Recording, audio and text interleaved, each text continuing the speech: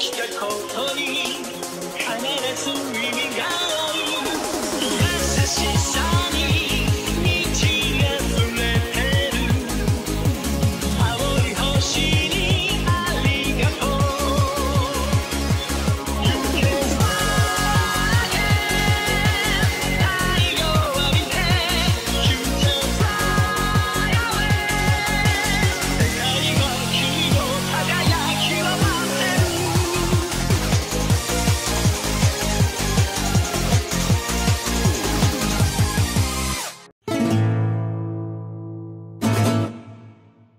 Nosso episódio abre na sede da Agência de Permissão Internacional, ou mais conhecida como API, que é uma organização que regulamenta as viagens para o continente escuro. E eles estão operando diretamente sob o comando do V5, a união dos cinco países mais poderosos. O papel da API é fazer pesquisas sobre viagens em todo o mundo e organizar um banco de dados levando em consideração paisagens políticas e sociais, biodiversidade e clima, a fim de calcular o risco de viagens e o nível de conservação e por fim atribuir aos países um índice de segurança. Normalmente os pedidos de viagem para o continente escuro são encaminhados para a API após serem aprovados por outras agências de viagens restrita. Mas na prática o API tem o dever tácito de rejeitar todos esses pedidos e nos raros casos em que isso não seja possível, de acompanhar os viajantes qualificados em direção ao novo mundo. A fim de maximizar a segurança após examiná-las por meio de uma inquisição multilateral e abrangente e processo de treinamento. Mas o envolvimento da agência de permissões com o continente escuro é muito mais profundo do que o público sabe. Pois em seu porão estão armazenados segredos. E é lá que iniciamos a conversa entre o diretor da agência de permissões internacionais e o secretário adjunto recém-designado chamado Steiner, ambos associados ao V5, que caminham por um corredor fortemente protegido e discutem o papel de sua organização de acordo com a jornada que se aproxima em direção ao continente negro. Ao entrarem no elevador, o diretor menciona que o guardião do novo mundo odeia visitantes mal educados. Esse guardião é uma espécie de porteiro para o novo mundo. E se as negociações com o Império Kakin fracassarem, o executivo mais velho fala sobre a possibilidade de abrirem a caixa de Pandora, o que Steiner questiona como sendo algo metafórico. Mas no entanto, o diretor abre uma porta para a agência de autorização internacional. Um porão que está cheio de várias atrocidades e cadáveres que foram resultado da última entrada dos humanos no continente escuro que são todos revelados por serem humanos ou que restou deles.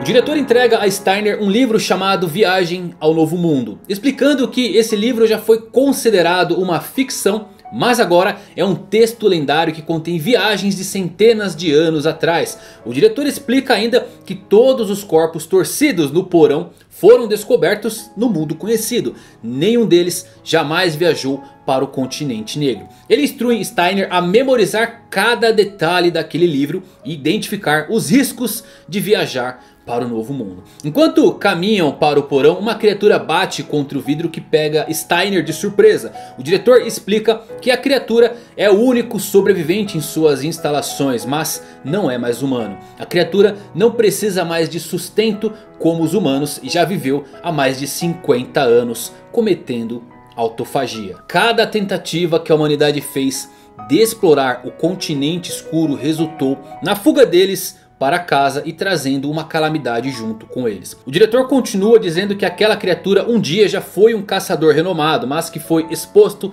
a um vírus que o torna imune à morte. Steiner retorna para sua casa e começa então a pesquisar o livro que ele adquiriu. Enquanto isso, os Zodíacos assistem o segundo DVD onde o ex-presidente Netero explica que seu filho Beyond Netero uma vez já viajou para o continente escuro e trouxe novas ameaças. Então ele proibiu novas tentativas de Beyond e mesmo da associação de caçadores até depois da sua morte. Netero declara que quer que a associação dos caçadores explore o continente escuro antes de seu filho. Embora enfatize que é um pedido e não uma última ordem. Shido aceita a missão mas afirma que nenhum outro Hunter deve se juntar a eles. Sayu e Kanzai afirmam sua oposição à caçada de Beyond, afirmando que isso torna a corrida para o novo mundo injusta e os outros zodíacos discutem seus verdadeiros méritos. E nessa discussão dos zodíacos acabam mencionando que Jim Freaks, o pai de Gol, é o único que eles conhecem que tem a ambição de ir em direção ao continente escuro. Geru diz que se Jin ajudar, a corrida será justa. Caso contrário, Kakin terá uma grande vantagem por ter Beyond Netero ao seu lado. Enquanto os Zodíacos discutem sobre o seu próximo curso de ação, Beans recebe uma ligação do próprio Beyond Netero. Ele aparece diante dos Zodíacos e os instrui a chamarem o V5 dizendo a eles que o capturaram. Beyond Netero se entregou aos Zodíacos que não entenderam nada.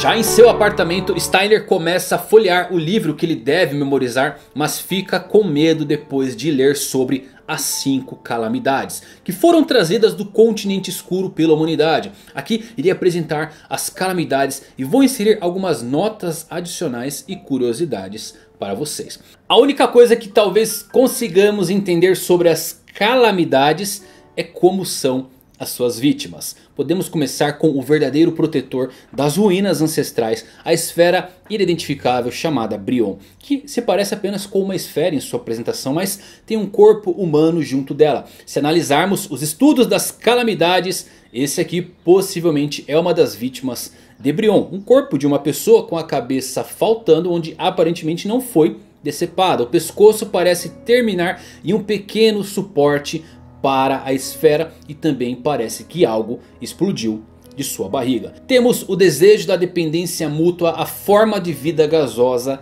Ai. Há diversas teorias sobre Nanika ser um Ai. E tenho que dizer que concordo um pouco com elas. Eles são mencionados como seres de codependência e desejo. O que funciona muito bem com o que vemos com Nanika e Aru. Se compararmos as vítimas de Nanika com as de Ai que ficam no laboratório. Fica meio implícito serem a mesma entidade. Quando a pessoa nega o pedido de Nanika, ela é esmagada até a morte. Então aí pode ver dentro de outro organismo e basicamente ter um relacionamento simbiótico. Também pode matar toneladas de pessoas esmagando e torcendo seus corpos. Quando certas condições não são cumpridas.